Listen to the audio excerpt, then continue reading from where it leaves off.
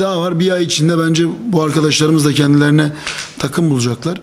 Biz de eğer Yılport Samsun Spor Futbol Gelişim Direktörü Batu Kaplan, fırsat transferi olursa sadece 6 ve 8 numaraya transfer yapabileceklerini söyledi. transfer konusunda ya şimdi biz oyuncuları alırken daha önce de söyledim hani bir kadro mühendisi yaparken misal az önceki Zeki sorusu.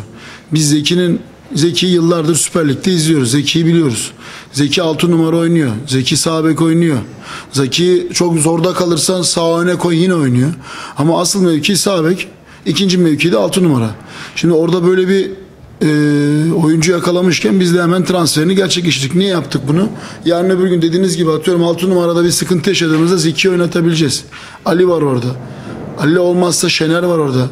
Yaşına rağmen çok iyi bir performans gösteriyor. Yani oyuncuları seçerken, oyuncular alırken biz bunlara dikkat ettik aslında. Her oyuncu yani birden fazla mevki oynayabiliyor mu ona baktık ilk önce.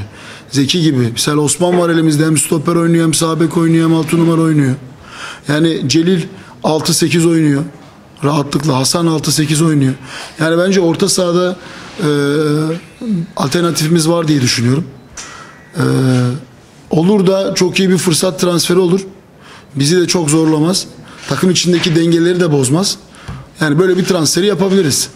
Ama şu an için ben e, özellikle stoper hani sorduğunuz için hocaya da sorduğunuz için stoper mevkiine e, bir transferi düşünmüyoruz yani. Olsa da düşünmüyoruz.